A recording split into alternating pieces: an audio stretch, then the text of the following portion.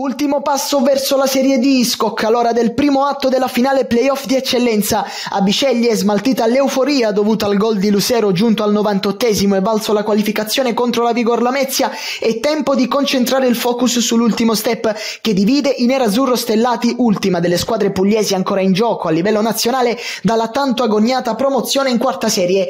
Al Ventura nella gara d'andata della finale in programma alle ore 16 in diretta su Antenna Sud arriva il Costa d'Amalfi giunto quinto terzo nel girone B dell'eccellenza campana, società che rappresenta tutti i comuni costieri in un progetto ambizioso cominciato pochi anni fa. Il Costa d'Amalfi ha superato Scafatese, Castel San Giorgio e San Cataldo nel suo cammino verso l'ultimo atto, battendo quest'ultima in semifinale nazionale sia all'andata che al ritorno.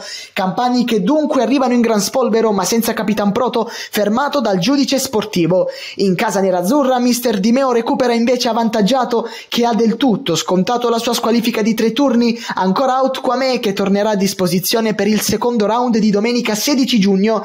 In dubbio la presenza di Bomber di Rito, il 39enne centravanti argentino è uscito anzitempo dalla gara contro il Lamezia per un problema muscolare.